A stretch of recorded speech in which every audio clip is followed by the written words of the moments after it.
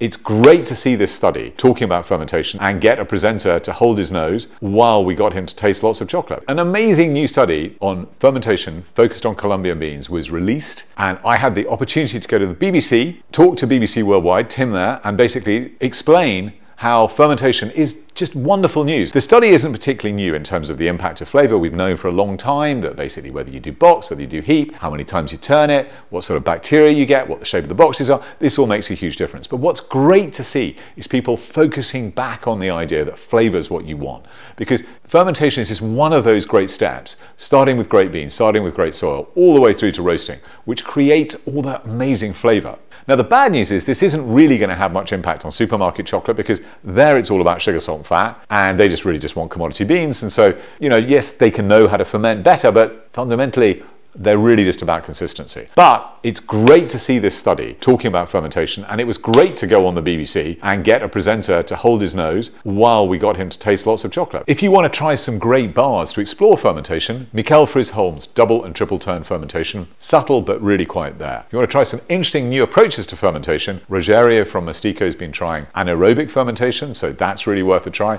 And then finally, try Fu Wan's bars because what Pali Pali's been doing there is adding fruit to some of the fermentations to create all sorts of new sensations and delights. Thank you, enjoy, and savor the flavor.